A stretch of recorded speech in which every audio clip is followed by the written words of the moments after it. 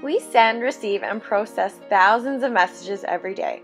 Two people carrying a conversation over coffee, an email exchange between coworkers, a simple nod between strangers. These situations can all be categorized as communication. So, what makes a good communicator? Is it a natural trait? Can it be learned? If I know anything about communication, it's that it's a tricky thing to master. Many factors can change the way we communicate. You must know yourself and know your audience in order to have a successful communication exchange. Being able to communicate effectively is the most important life skill. No one is a perfect communicator. Here are a few tips and strengths I use that make my life easier when trying to communicate. Listen. Listening is one of the most important aspects of effective communication.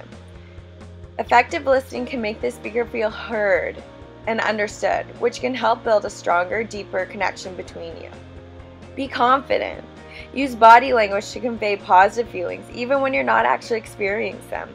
Smile if you're nervous about a situation or make eye contact. Appearance. Be aware of what your body is saying. What is your posture? How are your arms? Are you making eye contact? All these things can affect how a conversation will go. Always be aware of how you're coming across to your audience. Think before you speak. Ask yourself, is this necessary? Will this add to the conversation? And finally, have fun. Don't take yourself too seriously. Be creative, be silly, be different, stand out. Make a silly video of yourself. So let's go over some of my tricks to successful communication. Listen, be confident, be aware of your appearance, think before you speak, and finally, have fun with it.